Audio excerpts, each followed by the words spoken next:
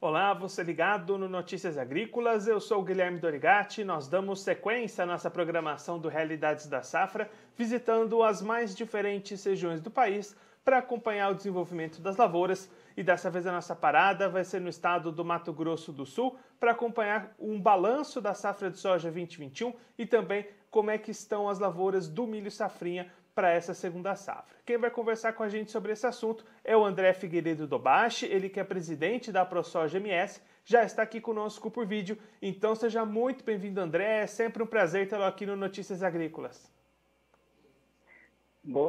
Muito obrigado aí, Guilherme. O prazer é sempre nosso aqui de poder é, atender vocês. É uma satisfação muito grande para a ProSoja poder levar um pouco mais de informação aí a todos os ouvintes da Notícias Agrícolas.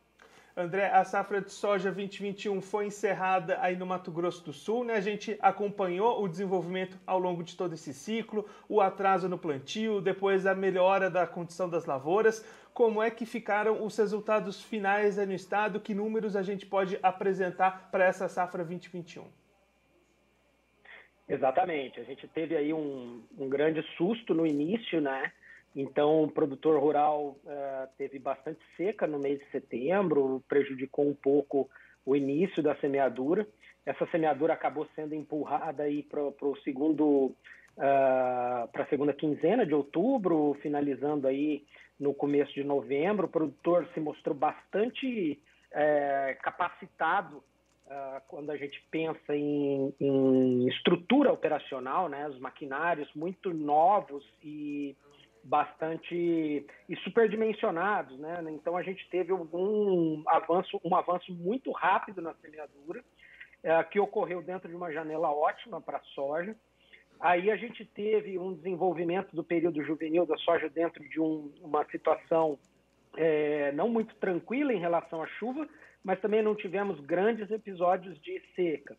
E quando foi em janeiro, nós tivemos um, uma chuva bastante importante, que em alguns lugares foi até prejudicial, a gente teve um pouco de uh, atraso nas pulverizações, a gente teve aí a incidência de doenças de final de ciclo, porém, com o conforto térmico, a soja conseguiu aí se desenvolver muito bem e encher os grãos, trazendo aí para a gente uma surpresa muito boa ao final da colheita, que foi esse recorde de produtividade no estado, atingindo a casa de 62,8 sacos por hectare de soja em uma área de 3 milhões 524 mil hectares. Então, o produtor rural sul-mato-grossense conseguiu colocar essa soja numa janela de plantio muito boa, embora tenha colhido essa soja com praticamente 20 dias aí de alongamento de ciclo, né?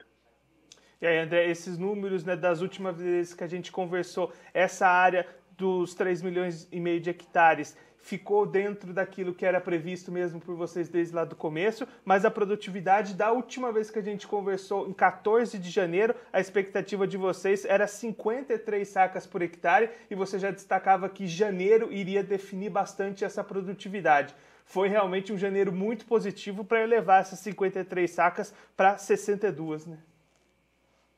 É, exatamente. Na verdade, o que aconteceu também foi o encolhimento dessa área semeada. Então, é, a gente teve aí praticamente uns 100 mil hectares a menos do que a gente imaginava de soja semeada no Mato Grosso do Sul. O produtor é, resolveu não estender mais a semeadura, então o período de semeadura ele ficou concentrado aí nos últimos dias de outubro, começo de novembro, mas a gente percebeu alguns produtores alongando isso e até entrando a soja uh, dentro do mês de dezembro. Mas isso foi em áreas bastante isoladas. E quando a gente tabulou a área realmente plantada, né, a, a semeadura da soja, que chegou para a gente já em janeiro, uh, como que a ProSoja, o sistema, o projeto SIGA faz esse mapeamento?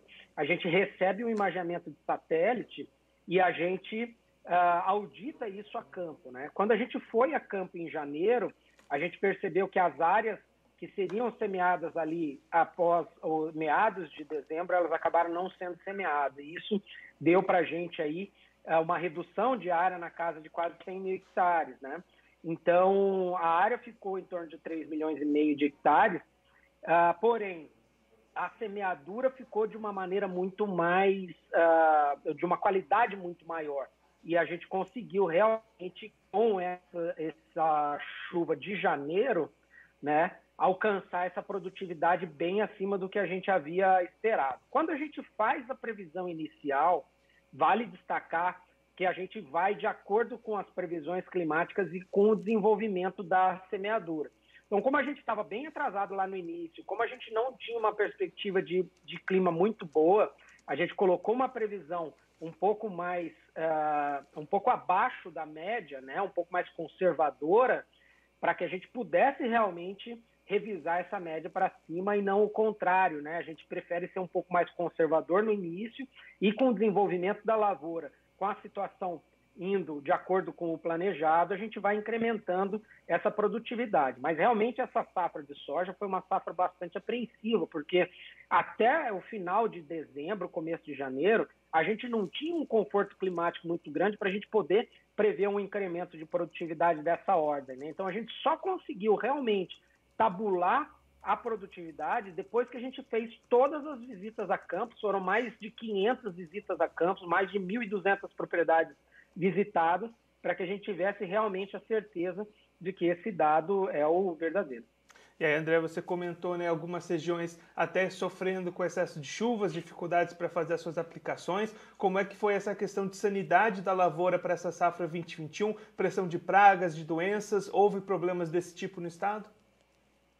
Houve. O que a gente percebeu esse ano foi uma menor incidência da ferrugem asiática, então nós tivemos menos relatos de ferrugem, então não é que a gente não teve, a gente teve a doença a campo, o produtor conseguiu controlar bem, até graças a um bom protocolo fitossanitário que o produtor vem fazendo, aliado ao vazio sanitário de três meses que a gente tem, né, de 15 de junho a 15 de setembro, Uh, e também alinhado à calendarização do plantio, onde a gente para de plantar a soja no 30 de dezembro. Então, isso tudo faz com que a gente tenha uma menor, a gente é, tenha uma menor pressão da ferrugem no campo.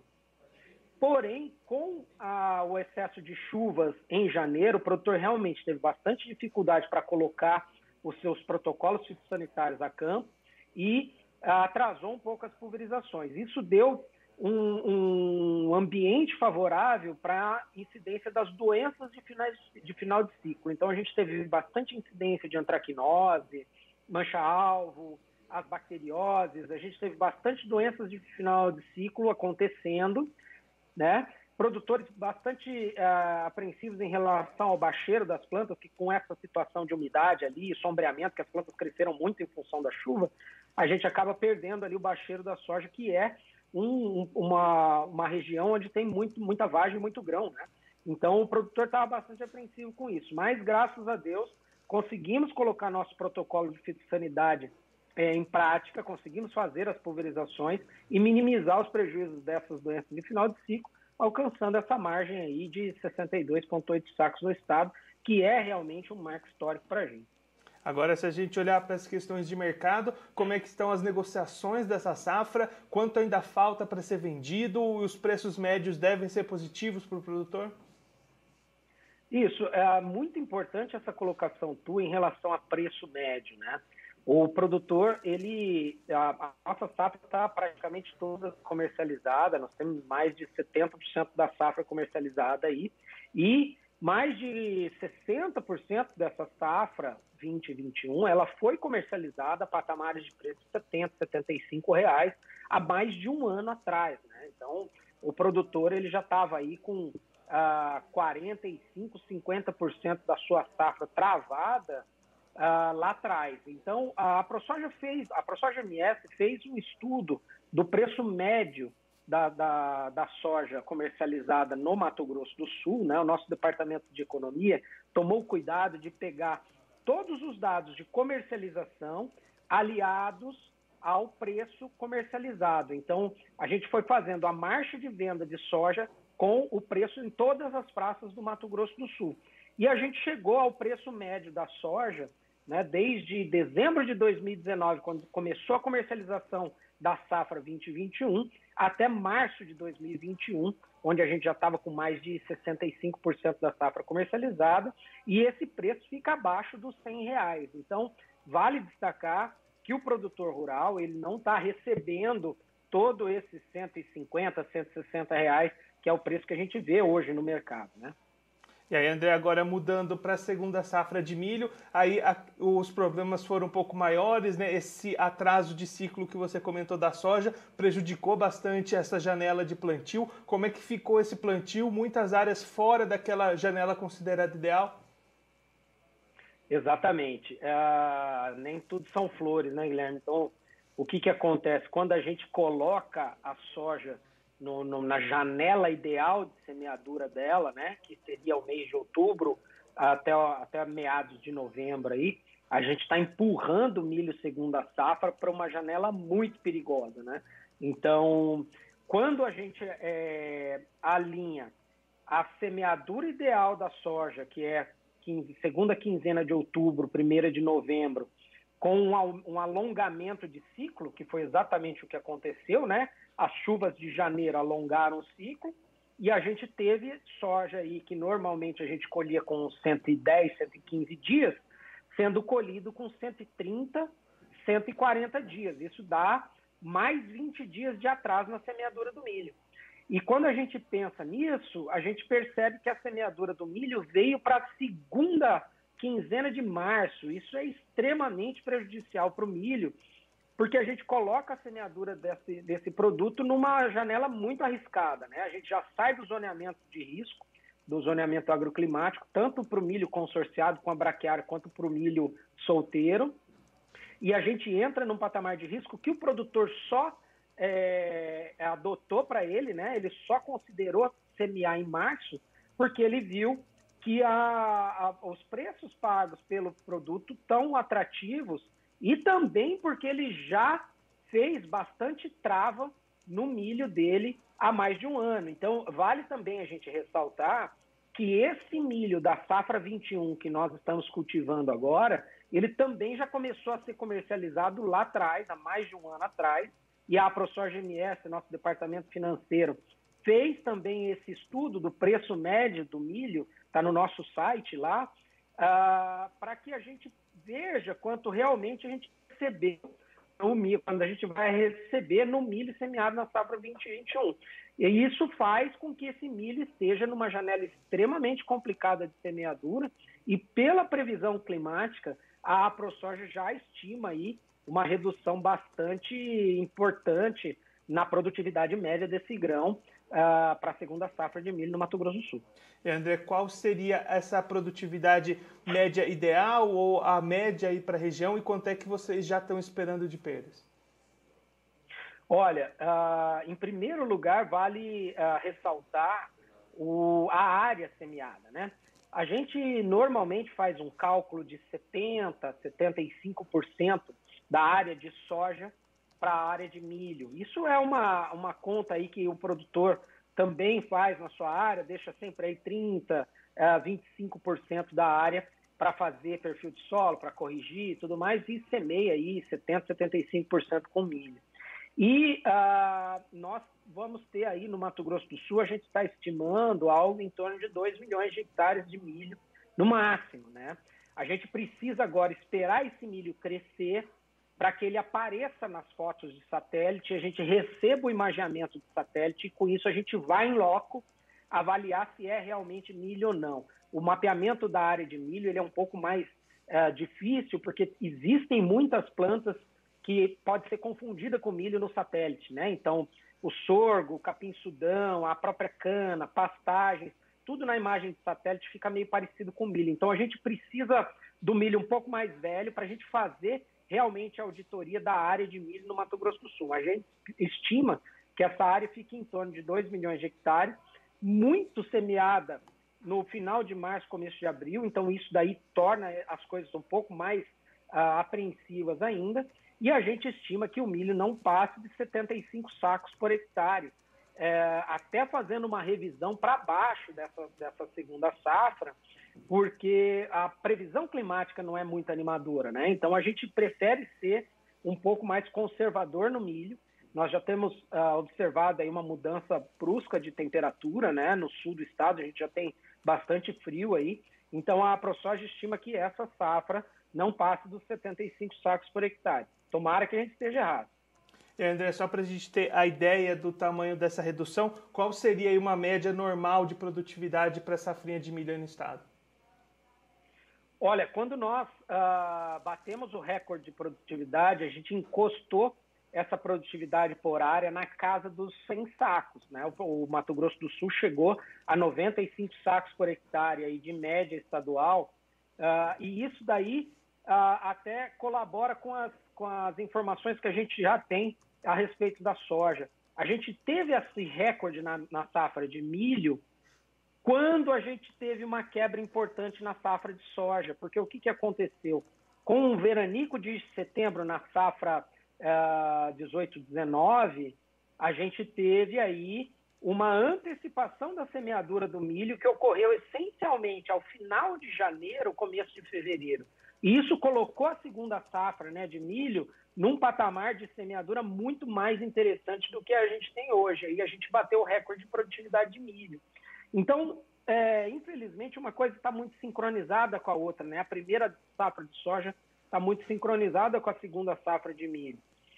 Se a gente tiver algum conforto climático a partir de agora, as previsões mudarem, a gente tiver a entrada aí de mais chuvas, não tiver ocorrência de frio, isso pode mudar. E a gente espera que isso mude mesmo, só precisamos de, de melhores previsões climáticas.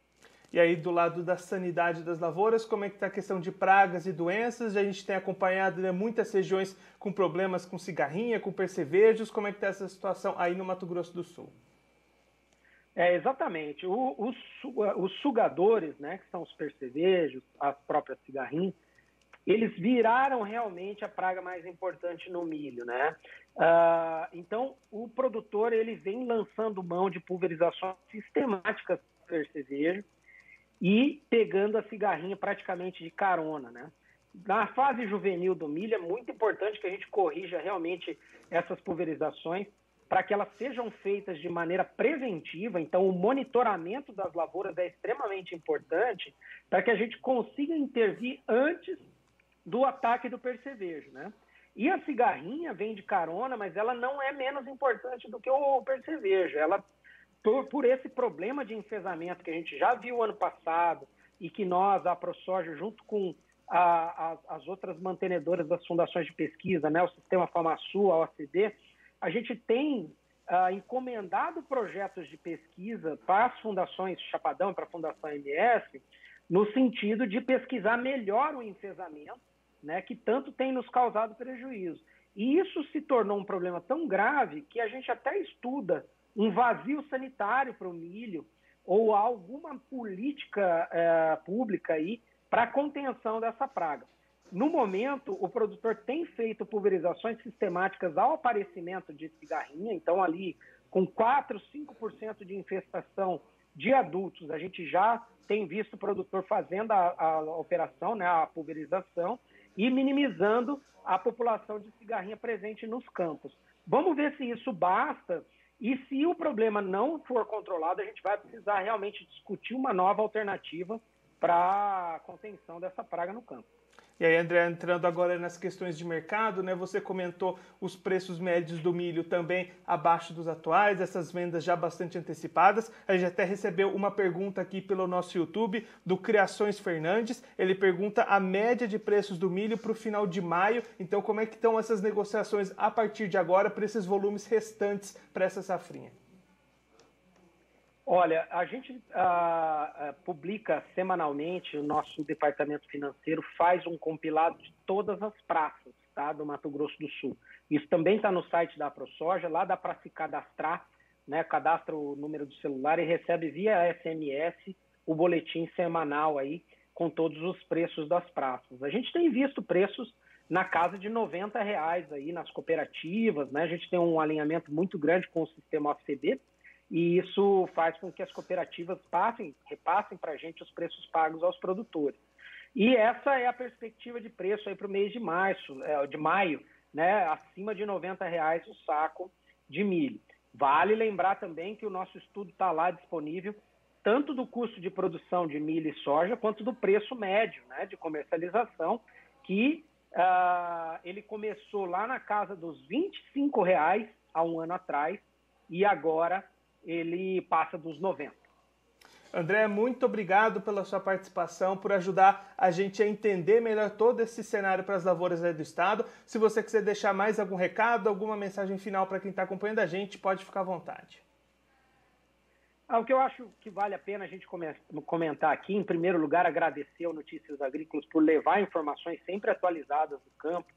Mas o que vale a pena a gente comentar é que cada vez mais a gente percebe a inclusão de toda a sociedade no agro. E eu fico muito contente com isso, no sentido de passar para a sociedade que nós somos apenas mais um membro de, de, da, dessa sociedade e que nós estamos só fazendo o nosso papel e contamos com o apoio de toda a sociedade, quer seja agro, quer seja uh, de outro segmento, para que a gente ressalte a importância dessa inclusão, né, do, do agro ser falado aí ah, no dia a dia de uma maneira muito tranquila, sem agressão, sem ah, aquela, aquela ideia de que a gente faz alguma coisa diferente do que qualquer outro profissional. Então, nós da AproSoja, nós temos o cuidado de se inserir na sociedade de uma maneira muito tranquila, mostrando que nós estamos aqui para ajudar e não para mostrar uma coisa diferente do que a gente quer realmente passar que é um agro que produz alimento, que se preocupa com a sustentabilidade, que se preocupa em reduzir as emissões de carbono, que se preocupa em manter aí uma diversidade uh, biológica do solo uh, e com toda a sustentabilidade do nosso mundo. Né? Então, o que a gente espera é que a gente consiga cada vez mais mostrar para toda a sociedade que o agro realmente vale a pena e que é um grande player na sustentabilidade mundial.